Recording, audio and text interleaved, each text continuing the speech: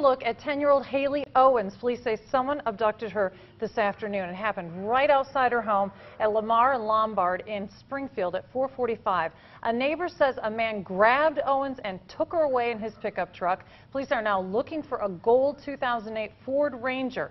The Missouri tag is 1YF454. The suspect is a white man in his 40s with gray hair and an unshaven face. Call 911 if you see Hailey or that truck.